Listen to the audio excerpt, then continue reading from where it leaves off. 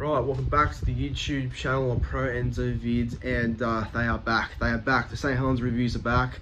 Um, as you know, last year I had my St. Helens reviews every sort of uh, week when we played a game, and towards um, midway last year, I sort of um, yeah, sort of just lost track of the game. Sort of um, like work took away the time for me to watch the St Helens games and Super League in general. That sort of just ruined my time of watching games in 2023.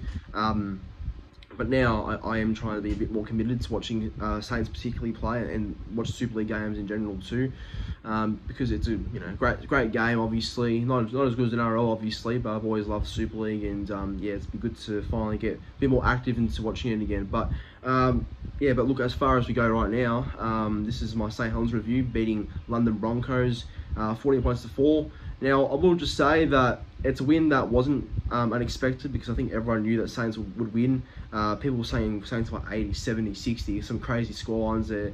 But to London's credit though, they actually kept us towards only 40 points really.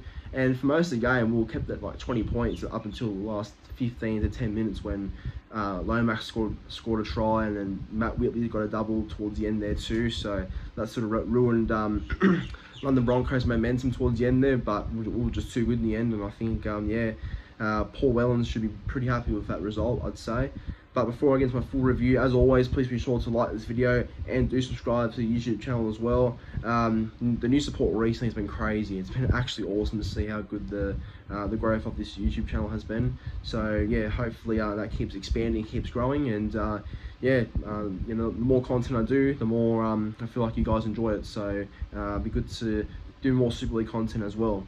But uh, yeah, no, it's you know obviously it was a good game for for St Helens fans. Obviously, I guess for a neutral fan you wouldn't really find it entertaining. I guess, but that's fair enough. But yeah, no, it's a good start to the season for Saints. Obviously, first time without McCarthy-Scarsbrook and uh, James Roby, but at least um, you know we saw we saw the new recruit uh, Daryl Clark do really well too.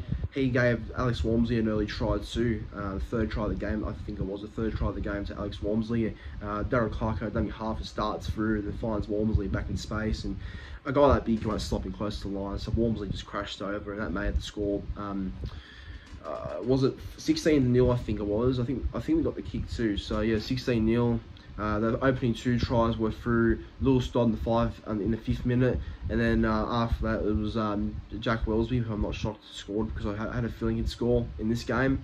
And then after that, yeah, it was just an onslaught of tries for St Helens, obviously. Um, but the thing I like about Saints uh, Saints were though is that their attack seemed pretty good still. Like I know Roby was a big part of our attack and a really big influence to how we played our game, but I think Daryl Clark really made things easy for us and did a good job overall. And uh, I wasn't too sure about Daryl Clark at first coming over, but he seems to fit our system pretty well. So I'm pretty happy with how he went um, tonight over in England. Um, and yeah, I, just thought our boys did really well. Like Wells was always consistent as always. Uh, Tommy Makinson scored a try, and when, and when does he score a try?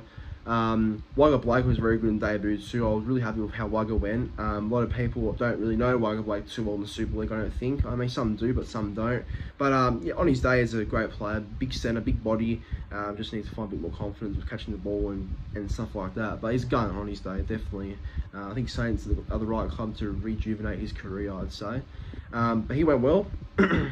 Jonny Lomax was fantastic as always. He scored a try towards the end there. Uh, got a few try assists too, I think and yeah, his running game, as always, is very dangerous as well. Um, but overall, the whole Saints team played really well. Like Bell, Sironen, um, you know, you know, you know what you're going to get from those guys. Uh, hard work as always. And yeah, no, it was overall good performance. Mark Percival, um, after re-signing with us for another three years, I think it was, or two years, uh, he had a good, good game too. So yeah, everyone played really well. I think everyone did their job. Obviously, London were strong at some points. They actually did pretty well at one point. London, uh, keeping us on our own line, but. Um, yeah, I think we're always going to win anyway. No, no disrespect to one London, but we were, we were always going to win, I think. But London were, were all right. They did they did their job. They did a some sort of uh, effort to try and uh, help um, help themselves keep us below 40, which they didn't, but they were close to. But um, yeah, I think Saints prevail at totally, totally wicked, and uh, yeah, I think, I think that's a result everyone's not too shocked about. I'd say. But if I was to give three players to as my best uh, three on ground, I'm going going with number three, Jonny Lomax. I'd say uh, the first one. Number two, I'm going with probably Tommy Makinson. And number one, going with Matt Whitley. Um, I really think Matt Whitley was awesome for us. Um, yeah, I believe he only just came back to St Helens too, uh, and he signed with us recently. So good to see him have a big game, get a double too. So very good start for Whitley back at Saints. But um, yeah, overall result was not ex- unexpected. Obviously, uh, we're always going to win this game, but uh, yeah, it's a good start to the season either way. But uh, thank you for watching. Please be sure to like this video. Uh, do subscribe to the YouTube channel too, and do comment your thoughts in the game in the comment section down below. But as always, enjoy and have a good day.